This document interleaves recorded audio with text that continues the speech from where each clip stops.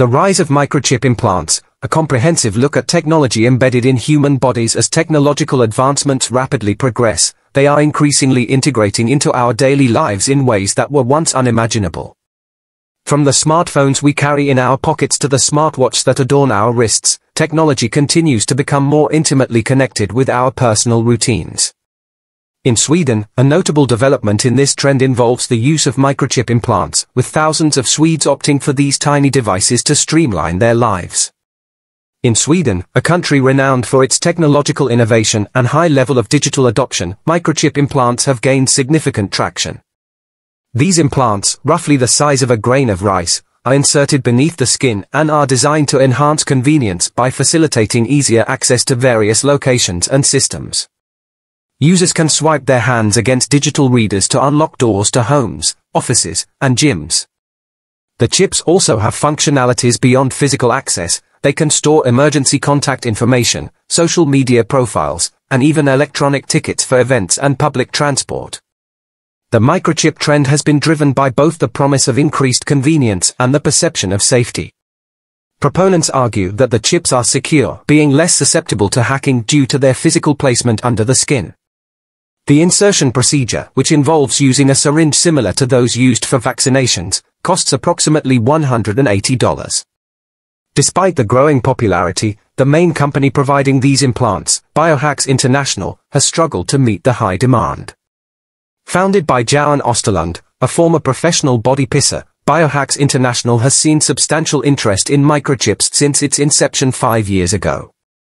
Osterlund, who has dedicated significant time to this venture over the past two years, is now working on developing training materials to enlist Swedish doctors and nurses to help manage the demand.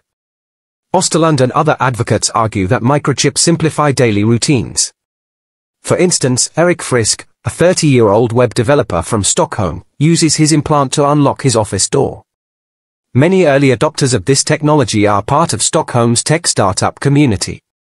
Frisk, who received his chip in 2014, describes the technology as passive and efficient. When he taps his chip against a reader, it transmits an ID to the reader without needing an external power source.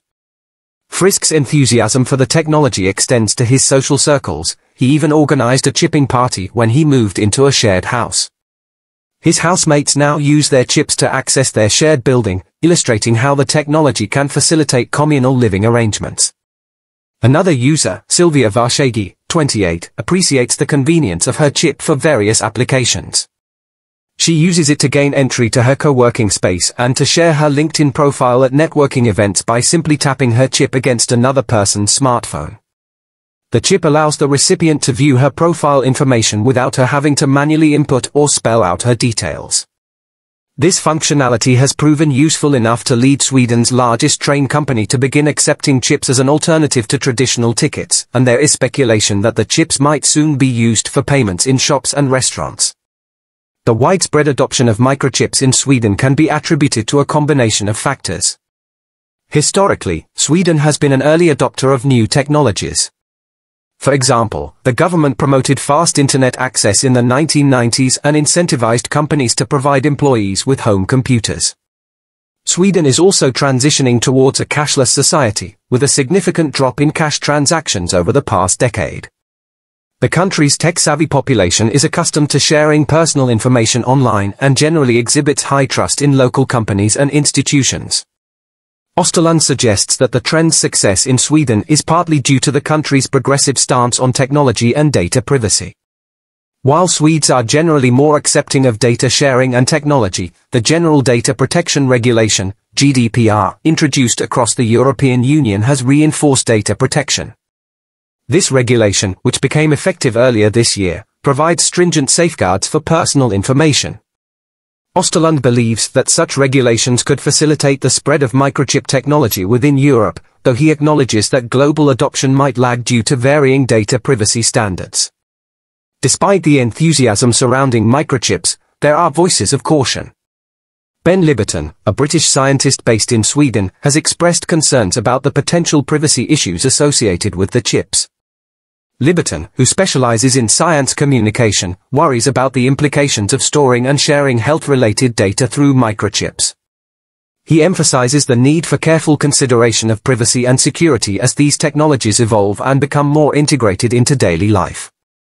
In recent months, interest in microchip implants has continued to grow, with more than 50,000 individuals worldwide opting for these devices.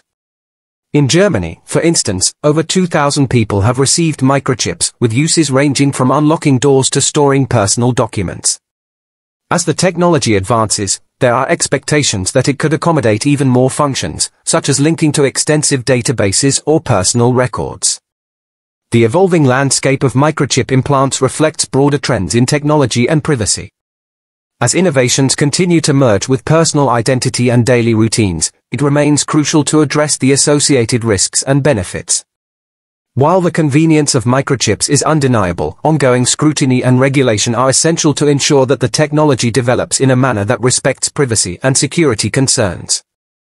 In conclusion, the adoption of microchip implants represents a significant step forward in integrating technology with human life.